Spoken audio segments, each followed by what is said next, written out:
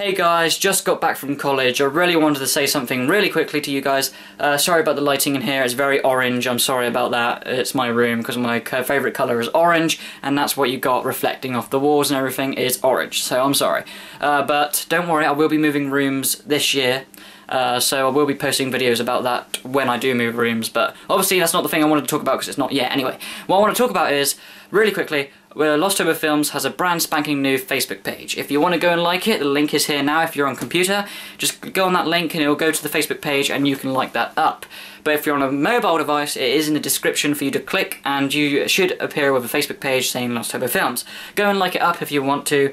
Uh, what we have on it, we'll have machinimas and all the videos you would like to see on LosthoboFilmz channel, but it'll be on there as well. Second place basically for my content. Also lots of more behind the scenes kind of rubbish uh, that you'll see. Uh, pictures of us and the crew, uh, what we do in a daily life kind of thing. We'll just post random pictures now and then and uh, maybe some live sketches. We're going to do lots more live sketches now this year in LosthoboFilmz, so I'm really excited for that kind of stuff. We're planning lots of stuff. But go and like our Facebook page for just more content, really. It's a second place for LosthoboFilmz. So go ahead and like it up if you want to. Thank you very much, and I'll see you next time on my next video. Toby,